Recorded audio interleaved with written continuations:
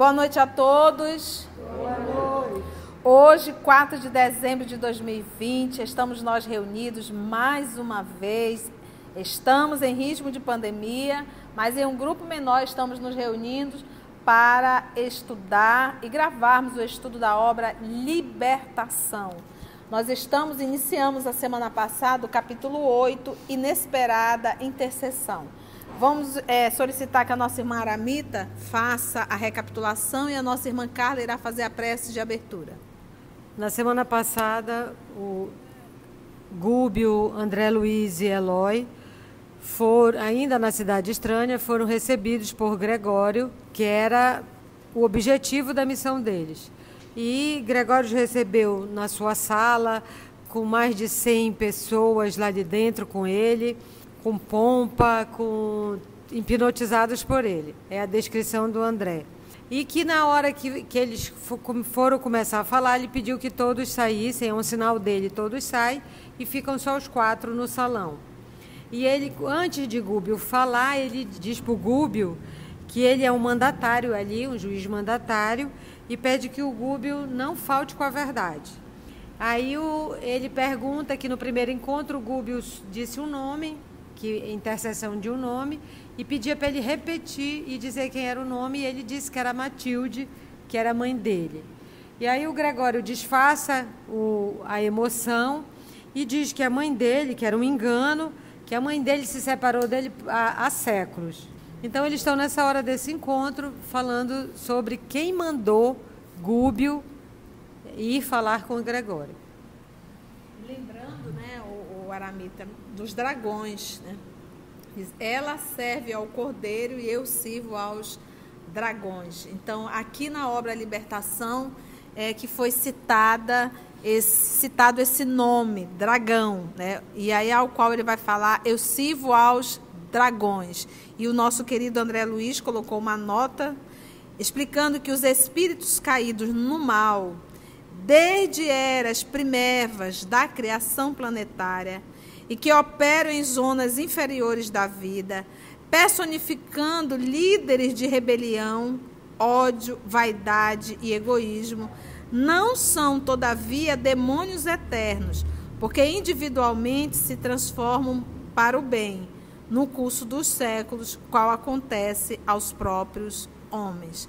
E é interessante que ele diz espíritos caídos no mal, desde eras primevas da criação planetária. Né? Então vamos solicitar a nossa querida irmã Carla, que vai fazer a nossa prece de abertura. Graças te damos, Senhor, por nova oportunidade de estudo, de entendimento. Que os amigos espirituais aqui nos ajudem a compreender melhor essa obra tão difícil, densa. Que nosso entendimento seja aberto para compreender essas dificuldades que tão bem compreendemos do mal que nos assola, que ainda sentimos certo prazer e que possamos aprender a fazer nossa luz brilhar com estudo, com entendimento e com ações. Fica conosco e nos ajuda. Então vamos lá. Aqui ao nosso lado, nosso querido irmão Paulo, nosso querido irmão Augusto emprestando a voz para fazer Gregório e o nosso querido irmão Gúbio, os dois dialogando. Eles estavam esse, todos esses, esses dias, vamos dizer assim, né, aguardando esse momento para conversar com Gregório. Então, indiscutivelmente, aquele instante não comportava conversação de um aprendiz e devia destinar-se às manifestações conscientes e seguras de um mestre, porque isso aqui era que o nosso querido André Luiz estava querendo fazer perguntas para variar. Quem eram os dragões? E o nosso querido irmão Gúbio deu aquela olhada, como diz Ticala, que isso não é hora para te mostrar que tu é um aprendiz, isso é hora para te mostrar que tu entende. Então, deixa o, o, o nosso querido Gúbio que tem capacidade para falar. E mais uma vez aqui a gente percebendo que a linguagem do pensamento. Né? Então a gente pensa que pensar não prejudica, prejudica e prejudica muito. Vamos lá ver então esse diálogo entre Gúbio e Gregório. Respeitável sacerdote. obtemperou o nosso orientador com grande surpresa para mim. Não te posso discutir os motivos pessoais. Sei que há uma ordem absoluta na criação e não ignoro que cada espírito é um mundo diferente e que cada consciência tem a sua rota. Criticas porventura os dragões que se incumbem da justiça? Perguntou Gregório duramente. Quem sou para julgar? Comentou o nosso Gúbio com simplicidade. Não passo de um servidor na escola da vida. Se, sem eles, que seria da conservação da terra? Como poderia operar o amor que salva sem a justiça que corrige? Os grandes juízes são temidos e condenados, entretanto, suportam os resíduos humanos, convivem com as nojentas chagas do planeta, lidam com os crimes do mundo, convertem-se em carcereiro dos perversos e dos vis. Então a gente observa aí que o Gregório, muito é, melindrado, porque no fundo, no fundo, ele sabe que o que ele faz é errado. Por mais que ele tente justificar aqui, se colocando na condição de juiz, ele sabe. Então, como ele sabe que o que ele está fazendo é errado, qualquer olhar contrário, ele diz: e aí, que, qual é o problema? Está me julgando? Assim somos nós, nós somos assim. Quando a gente está fazendo algo errado, qualquer olhar para a gente já é de crítica. E às vezes a pessoa não está pensando em nada. Mas por quê? Porque a culpa está em nós. Então, tudo e qualquer motivo, de qualquer atitude da pessoa, já me, me, já me incomoda profundamente. Por quê? Porque eu carrego culpa. Então ele diz: olha como ele começa, respeitável sacerdote. O André Luiz já ficou de cabeça em pé. Como que Gúbio está falando assim com um cara que está tocando terror aqui, né? Respeitável sacerdote. E ele diz assim: falou o nosso orientador com grande surpresa para André Luiz. Ele disse: com grande surpresa para mim. Ele disse: Poxa, não te posso discutir os motivos pessoais. Que, lembra que ele respondeu em relação a Matilde e o que ele faz. Sei que há uma ordem absoluta na criação e não ignoro que cada espírito é um mundo diferente e que cada consciência tem sua rota. Ele diz assim: olha, sei que há uma ordem absoluta na criação. Se tu estás aqui, papai está permitindo. Tu não está só porque tu quer. Não sei se ele entendeu a dica, né? E o outro ponto é: não ignoro que cada espírito é um mundo diferente, que cada consciência tem a sua rota. Então eu não ignoro que existe gente, espírito, tudo quanto é jeito. Aí é quando ele vem, criticas porventura os dragões que se incumbem da justiça. Então, volta aquele ponto. Se eu perdoar fulano, a justiça não será feita? Claro, não tem nada a ver o teu perdão eu perdoar, eu me livro da pessoa. Me livro que eu digo, eu deixo de ser um perseguidor da pessoa. E deixo de ficar pensando na pessoa, deixo de estar nutrindo sentimento para com essa pessoa. Ok, ok. Mas a pessoa tem um débito com quem? Com a lei. E o papai não precisa que ninguém vá fazer justiça com a própria mão. A própria lei atua. Então aqui eles se arvoraram a esse trabalho. E o papai permite. O papai permitiu. Aí vem o nosso querido Gube e diz: Quem sou para julgar? Não passo de um servidor na escola da vida. Não tenho moral para estar julgando. Aí é quando ele vem, o, o sacerdote, né? Continua se, justificando. Sem ele, sem eles quem? Os dragões. Os dragões. Que seria da conservação da terra? Ele acha que os dragões é, que conservam a terra, que mantêm a terra, o equilíbrio é. Como poderia operar o amor que salva sem a justiça que corrige? Só que essa justiça que eu tenho que sujar as minhas mãos, maltratar, humilhar para que o outro possa. Não é essa que o papai quer. Por isso é que nós vamos estudar no livro dos Espíritos a lei de justiça, amor e caridade. É uma lei só. Lei de justiça, amor e caridade. Então aqui é aquilo. O escândalo é necessário, mas ai daquele que comete o escândalo. Sem eles, que seria da conservação da terra? Como poderia operar o amor que salva sem a justiça que corrige? A justiça na interpretação deles. E sem esquecer de quando nosso Senhor Jesus nos falou a Pedro, Pedro, embainha tua espada, porque quem com ferro fere, com ferro será ferido. Então, da mesma forma que eles se avoram a ser a justiça, eles estão fazendo um trabalho que, que eles também estão ferindo. E aí é só lembrar de Jesus: atira a primeira pedra aquele que nunca pecou. Os grandes juízes são temidos e condenados. Ninguém adora o juiz, né? Os grandes juízes odeiam, né? Então ele está aqui fazendo uma analogia. Entretanto, esses juízes suportam os resíduos humanos. Olha, ele chama de resíduo. Resíduo é o quê?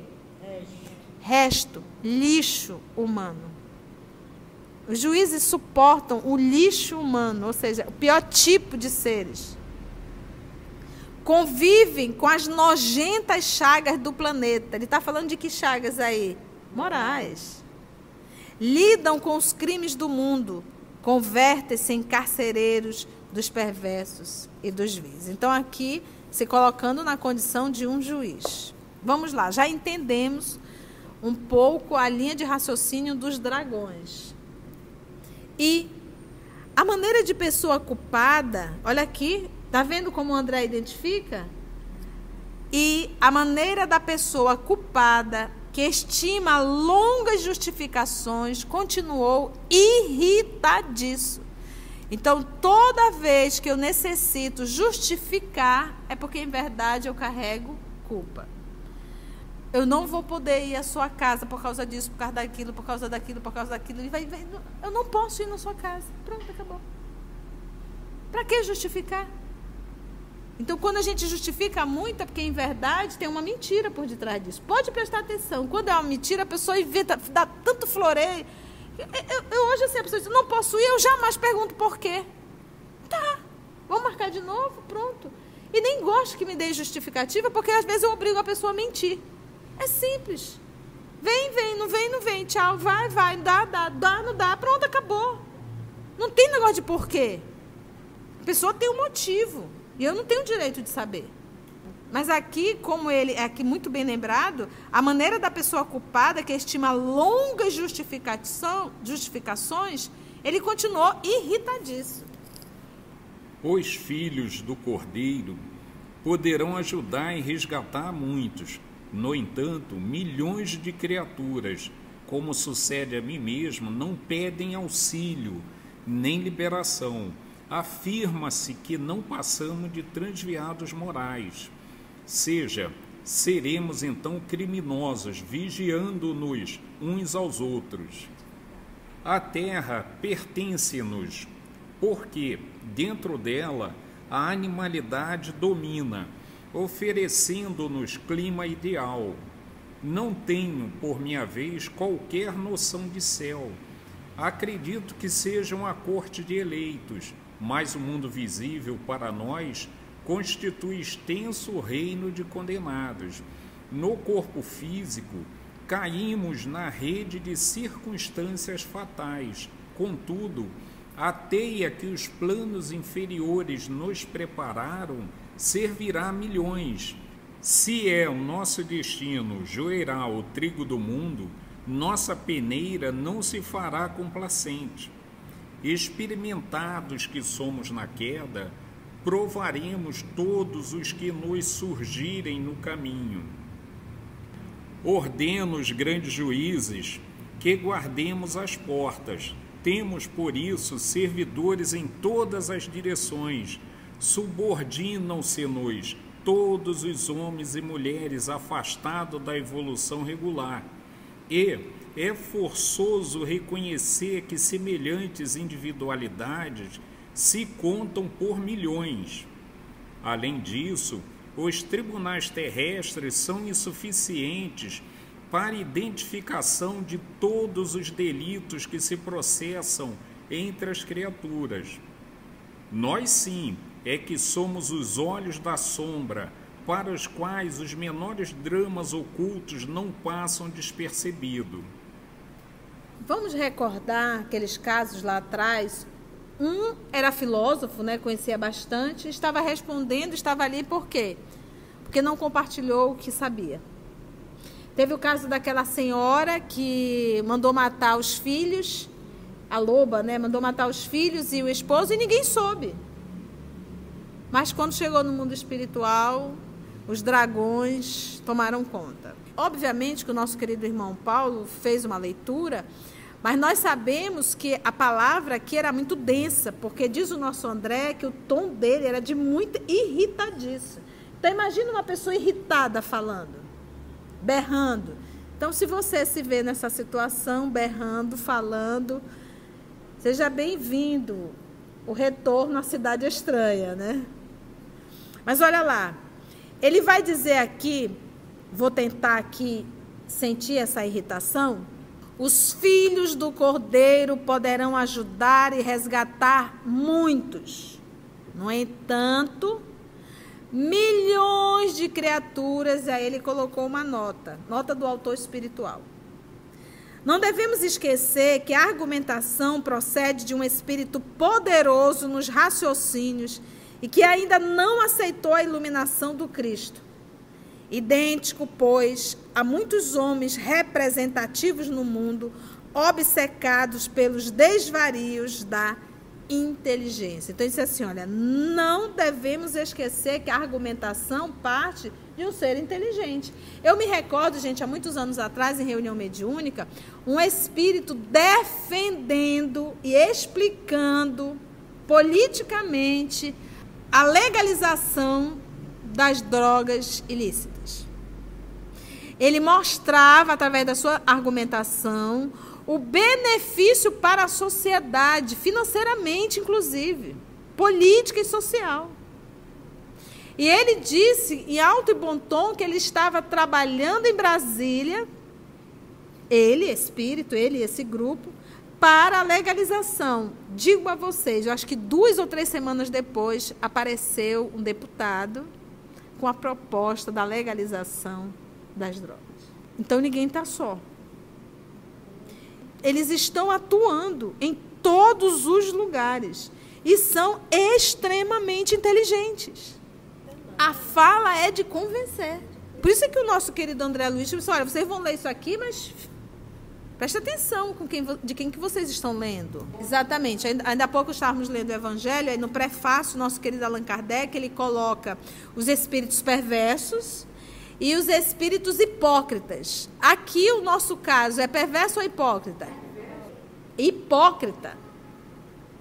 Lembra do Evangelho? Ele diz que o espírito perverso, o espírito mau, a probabilidade de mudança é muito maior, que ele não tem nem coragem de escrever na psicografia o nome Deus, ele treme. O hipócrita, ele utiliza o nome de Deus sem absolutamente nenhum medo. E são extremamente inteligentes. Você vê que a hipocrisia aqui é tamanha que ele se sente bom. Ele se vê fazendo justiça. E esse caso aqui é muito mais difícil a mudança. Por isso é que o nosso querido Kardec colocou: aqueles que são maus, mas que reconhecem a sua maldade, esse é muito mais fácil o trabalho de trazer para o colo divino. Mas esses que fazem o mal e não reconhecem que é o mal, porque você vê aqui, ele está reconhecendo que o que ele faz é mal? Não. Não reconhece. Ele acha que ele é juiz, ele acha que ele está fazendo.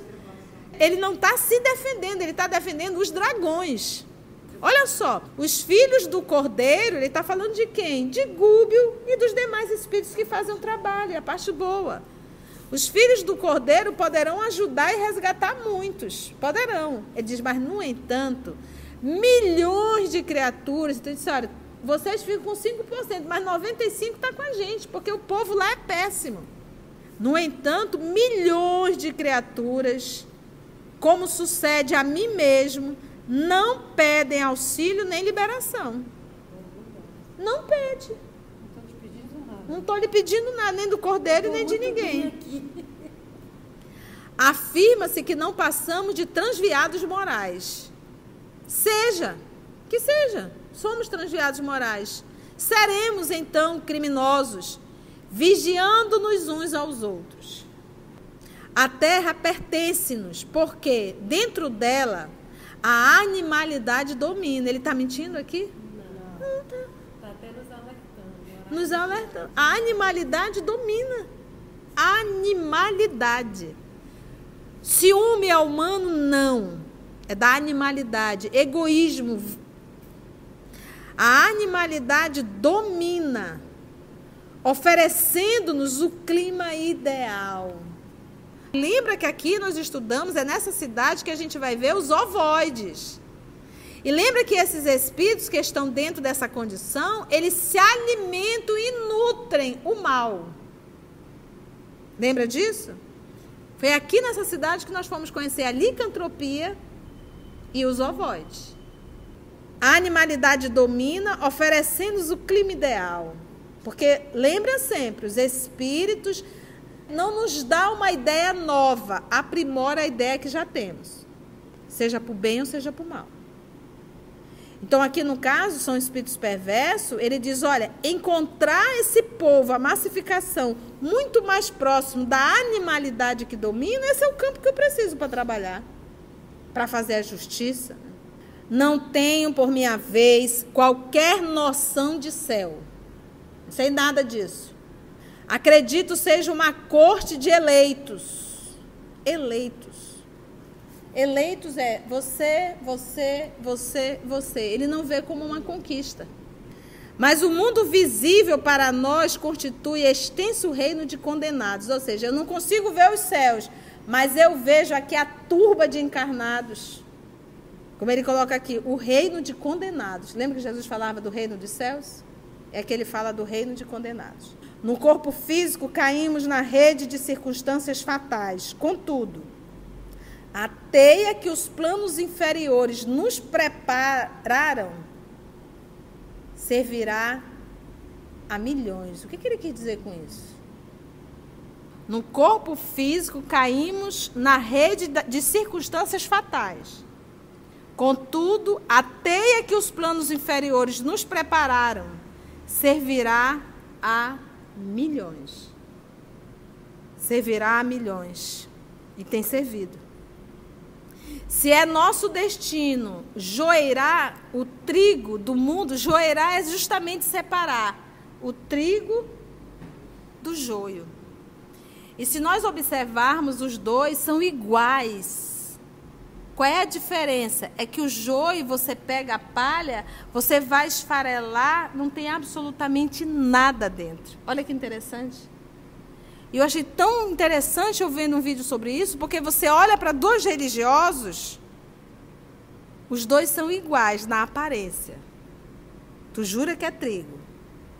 Mas se você for esfarelar o mundo íntimo, tem um que é vazio. Não tem nada dentro. É só a aparência. Daí o nosso Senhor Jesus divinamente fala a parábola do joio e do trigo. E aquele se diz: se é nosso destino joerar o trigo do mundo, lembra que esse aqui é um sacerdote, conhecedor do Novo e do Antigo Testamento. Se é nosso destino joerar o trigo do mundo, nossa peneira não se fará complacente. Mão de ferro. Ele diz: se é o nosso destino. Mas quem disse que eles seriam juízes? Se autodenominaram. Nossa peneira não se fará complacente. Experimentados que somos na queda, que já caíram, provaremos todos os que nos surgirem no caminho. Provaremos. Se eu sei, eu vou, vou te provar. Ah, é, Mita? É, pera lá. Deixa eu te testar aqui, para ver se você é boa mesmo nisso. É por isso, gente, que a gente vê, a gente diz que esses espíritos são tão inteligentes, quando eles querem realmente atacar, derrubar, eles estudam e vê qual é o nosso ponto fraco e nos oferece e nos dá exatamente aquilo que queremos. E a gente larga tudo. Ordenam os grandes juízes que guardemos as portas. Olha, Experimentados que somos na queda, provaremos todos os que nos surgirem no caminho. Provaremos. Ordena os grandes juízes que guardemos as portas. O que será isso? Guardemos as portas. Qual é a função? Guardemos as portas. Nem entre nem sai. Temos, por isso, servidores em todas as direções. Em todas as direções. É isso que eu ainda não tinha lido Libertação, não com a cabeça que a gente tem hoje, um pouquinho melhorzinha.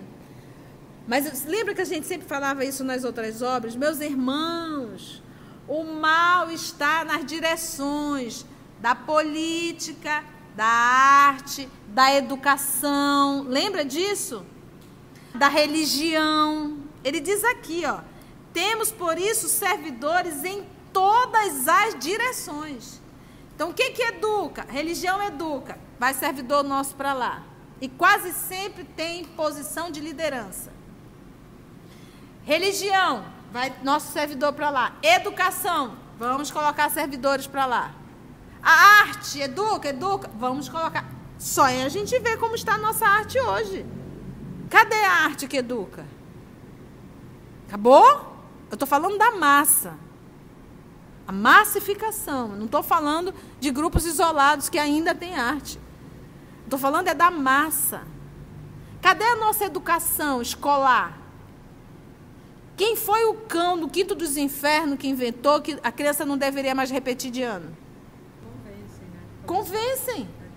E olha aqui, são inteligentes. Então, tenhamos muito cuidado. Muito cuidado. E não foi bom, ah, foi mais. Gente, não foi bom, já se viu que não foi bom. As crianças estão na quarta, quinta série não sabem ler. Eu estou falando do povão, gente. Não sabe, eu sei porque eu trabalho com crianças carentes. Já trabalhamos, a gente pedir a criança não sabe, não é um nem dois, eu estou falando de povo carente. Já vimos que não deu certo. Outro, outro cão do quinto dos infernos. Tirar os cursos profissionalizantes. A gente sair do ensino médio com uma profissão. Hoje termina o ensino médio, a jovem não sabe, não tem uma profissão. Outra coisa, na nossa época, nós, as meninas tinham aula uma ou duas vezes por semana de culinária, de beleza. Lembra disso? A gente aprendia a fazer uma série de coisas, corte e costura. Os meninos iam aprender a parte elétrica, a parte mecânica. Eles, a gente tinha esse tipo de aula. Hoje em dia, esses meninos dentro de casa, esses homens de 20 anos, não sabem trocar uma lâmpada. As meninas não sabem pregar um botão. Aí você, Conceição, tu está sendo machista. Que tivesse aula, se a menina quisesse fazer aula de mecânica, que fosse. Que botasse a lâmpada. Que colocasse a lâmpada, não teria problema nenhum. Mas você tem que ter uma profissão. Então, o que, que você hoje diz para o jovem? Terminou o ensino médio, você quer uma profissão, você tem que fazer uma faculdade. E aí a pessoa, se tiver dinheiro, ele paga. Se não tiver, ele não tem como fazer. Então, hoje nós temos uma, um comércio muito grande de faculdades formando pessoas extremamente, absolutamente sem nenhuma capacidade de atuar. Então, meus irmãos, está um caos? Está. Mas Jesus está no leme. E o que, eu, o que eu fico assim, o que me alegra é que nós vamos morrer. E novos irão chegar, com novas formas de fazer, de fazer o certo. Então, o mal, ele não vai perpetuar na terra. Nós temos data de validade. Quem deu essas ideias está morrendo. E talvez não volte mais a encarnar na Terra. Entendeu, gente? É isso que a gente tem que parar para pensar. Então, os, eles são líderes e eles estão nas lideranças. Então, tenhamos muito cuidado. E estão nas, nas lideranças espíritas, podem estar, católicas, evangélicas, budistas, em todas as religiões em toda a arte. Cadê a nossa arte? Cadê música? Danças. As nossas danças de hoje exala sexualidade e sexo. É promiscuidade.